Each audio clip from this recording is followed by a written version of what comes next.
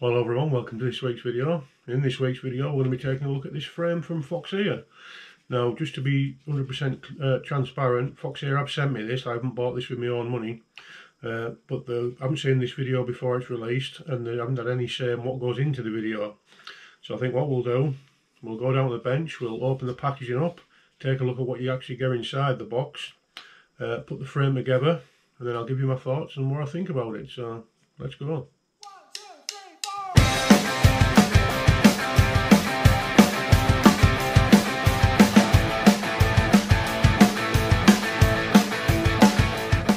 Right, so let's go, let's have a look. Now this is the uh, Aurora freestyle frame, you can see from the, uh, the label there, it's the uh, 5 inch Aurora Pro. And this is the fluoro green one. Alright, take the packaging off.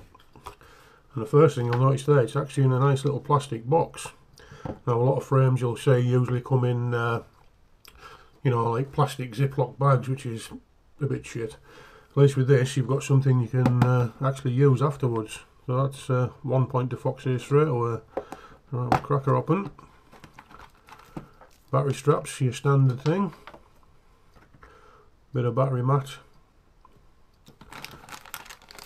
Now this is another point for Foxeer. These should be standard with every frame you get.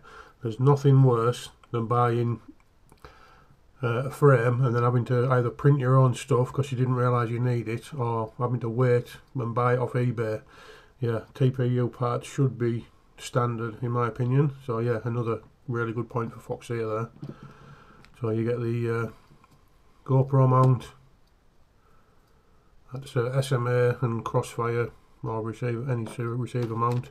You actually get some feet skids and a, and a front bumper and you've got your uh, hardware pack there that looks like your standoffs, your screws. And another another point to Foxeer these are actually motor wire protectors that go on your arms. And I think the rest is just your standard uh, vacuum pack frame pieces. And now by the magic of editing we'll get these bits out. Well there we go. There's our frame pieces out. A couple of little things I do like just while I was unpacking it there I actually really like the Foxeer logo in the camera plates. I think that's quite cool. Now, if I remember rightly, the uh, base plate's two and a half mil thick, the top plate's two mil thick, and your arms are five mil thick. And I've got to say, the actual quality of this carbon feels really nice. There's no sharp edges. It's all lovely, uh, lovely and smooth. Uh, I think it's T700 grade carbon. If I'm wrong, I'll put a little thing at the bottom of the screen here now. But yeah, it looks looks a very very nice frame. The only sort of downside I would say really is most modern frames tend to be a, split deck design. You know, you have two bottom plates essentially, with your your front bit being a little bit thicker, and then your your back your sort of middle plate being stepped up, with your arms squashed in between them. Now this is just a two-piece design. It looks like your uh, your arms and all that go sort of in between here like that we'll have a look at that when we get it together. So not a massive downside, you know, some people maybe prefer this style of frame. I do really prefer the uh, split deck design. So mounting wise, it looks like you've got both 20 by 20 and 30 by 30 and the same in the back there. Now again, not to be not to be too negative, uh, the 30 by 30 mounting does look like it's stuck out quite a bit from the outside of the frame now if you're only going to be running a Vista using 20 by 20 mounting I think you should be alright there. But if you are using an air unit or even uh, HDZero Freestyle VTX or something like that or even the Walksnail now I come to think about it they are going to be hanging out slightly and slightly exposed on the back so. Right we'll get this frame put together now. We'll show you what it looks like then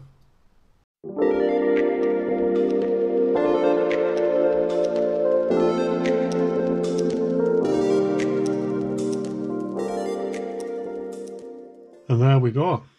There's the finished frame. Now,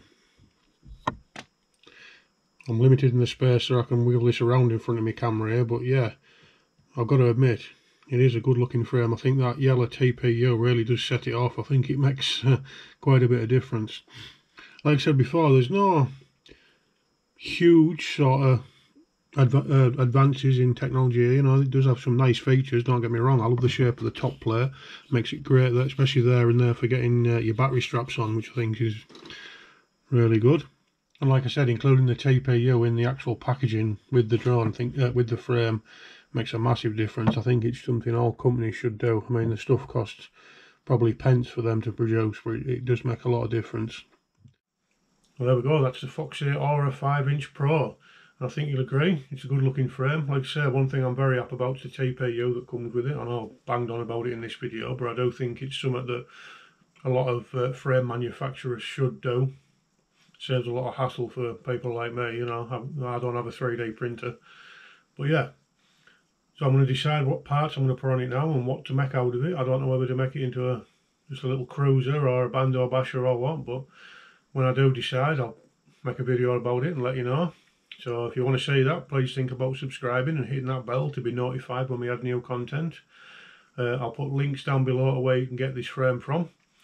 And uh, yeah, I hope you enjoyed this video. If you did, please think about giving it a thumbs up. And like I said, please subscribe. And we'll see you next time.